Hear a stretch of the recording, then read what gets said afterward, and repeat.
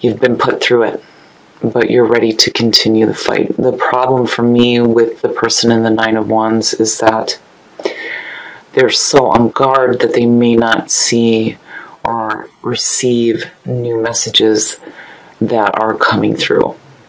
But clearly, here you've been put through something on an emotional level with the Ten of Cups falling out, but you're ready to continue the fight. Now, you are coming in with the Eight of Cups. The Eight of Cups immediately to me says that you are sticking with something that is emotionally dragging you down. You know you need to walk away from it and you're done with it emotionally, but there is this feeling there with the Eight of Cups that you're kind of like still with it, you know. And that's why they say that it's about moving on emotionally before you do physically, because physically you haven't quite done it yet. What is crossing you is the Empress. So now I have to wonder here, you know, if maybe, you know, are you truly manifesting that emotional fulfillment? how can you if you're still stuck with things that are emotionally dragging you down?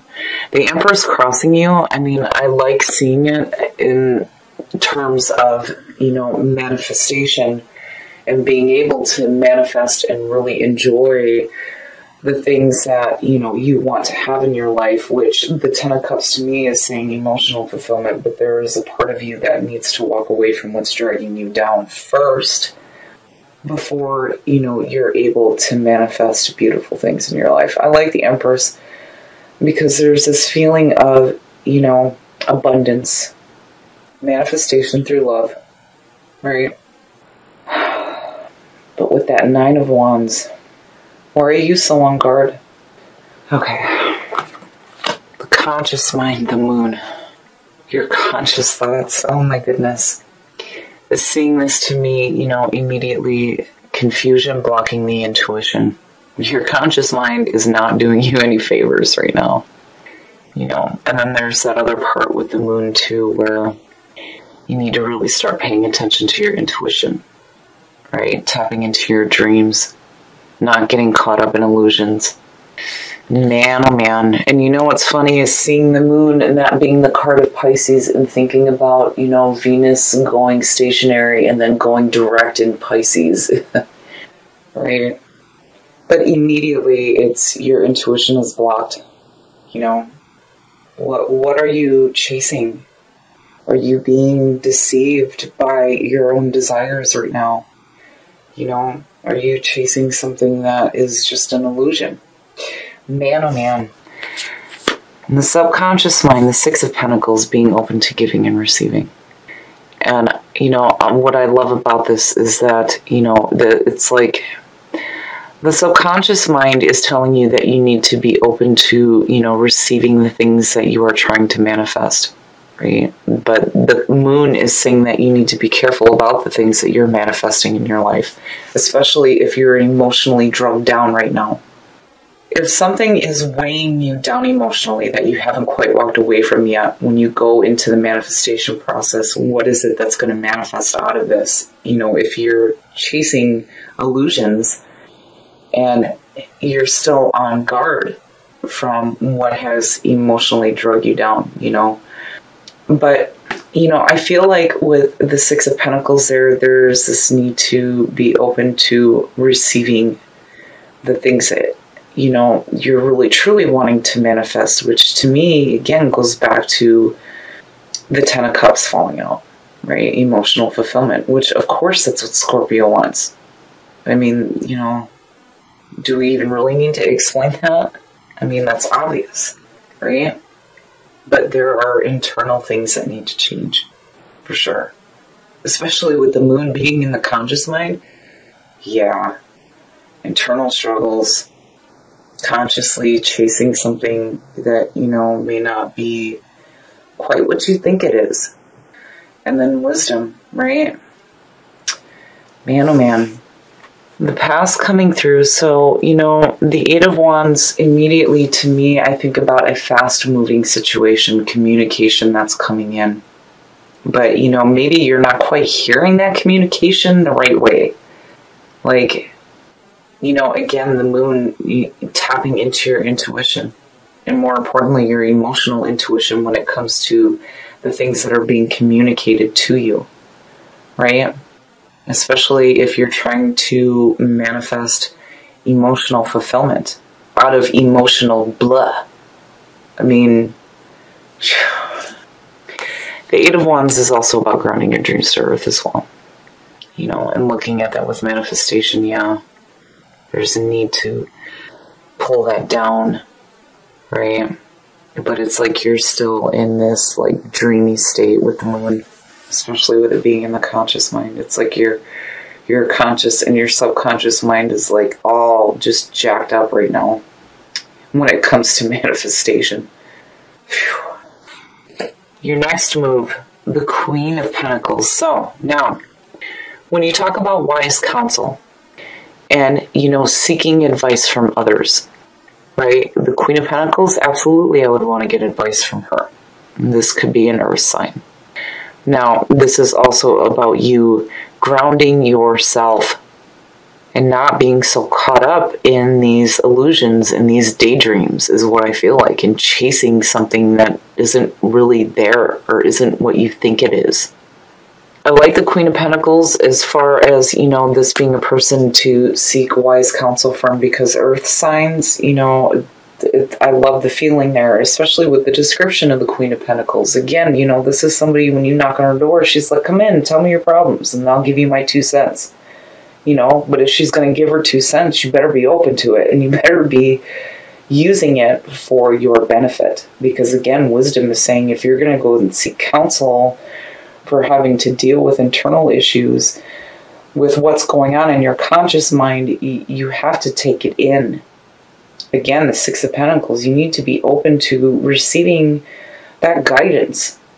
You know, if you have an earth sign around you that is wise, if you're unloading your problems onto them, the best thing to do is to take it into consideration. Don't just ignore it because, you know, I feel like the Queen of Pentacles is the perfect person to seek guidance from. Absolutely. Absolutely. And again, it being your next move, needing to ground yourself, working with what you have instead of, you know, getting caught up in those illusions. Man, oh man, Scorp, what the hell is going on? What is it that you're daydreaming about? Because whatever it is is not what you think it is.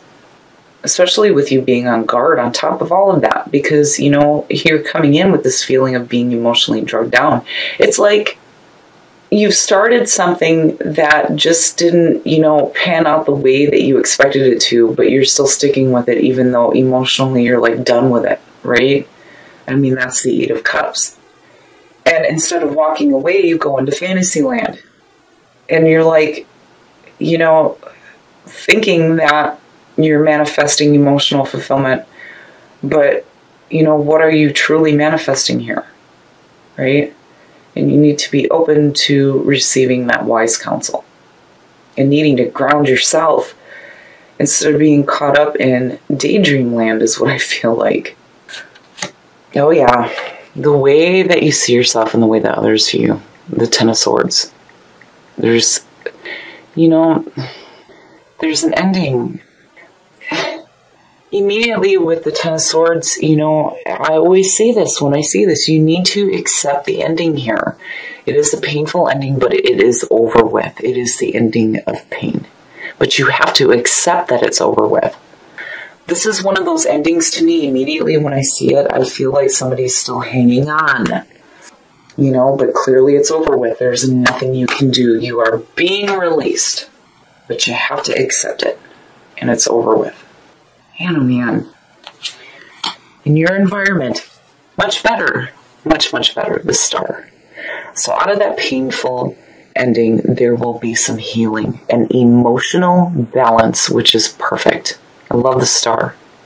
Going with the flow of the universe and having that much needed emotional balance.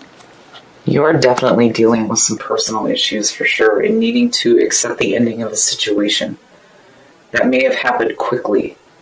You know, with my Eight of Wands coming through, I feel like this was a, something that was quick, you know? But again, there's that need there to ground yourself. Because the moon, man, thank God the star is sitting there. But it's frustrating. It's frustrating to look at because I, I, I know what this feels like. Emotionally, you're just, yeah, but you're still doing the same shit day in and day out, but you're like daydreaming about the things that you really want to have, which clearly is emotional fulfillment. You're so on guard, right?